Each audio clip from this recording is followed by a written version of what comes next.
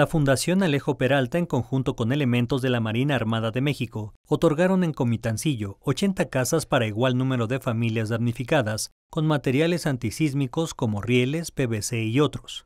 Emilio Antonio Cabrera, cuya casa colapsó luego del sismo del 7 de septiembre y su posterior réplica el 23 de septiembre del 2017, se dijo afortunado por el apoyo. Yo fui con el presidente, le mira, mira Arturo, yo veo que mucha gente está recibiendo y nosotros qué onda. No, dice, pues, pues ahorita vamos a esperarnos, ¿no? Dice, para ver primero uno, luego otro.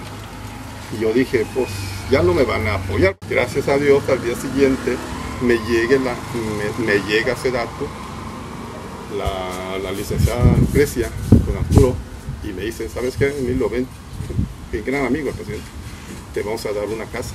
Yo dije, ah, red, dije, estoy soñando. que Este modelo de casa cuenta con dos cuartos, una sala comedor, cocina, baño completo. Su cimentación es especial en forma de H. Así, en caso de un sismo, la estructura de la casa puede ser moldeable y con ello evitar fracturas. Además cuenta con estándares más altos de calidad y está equipada con tinacos y paneles solares.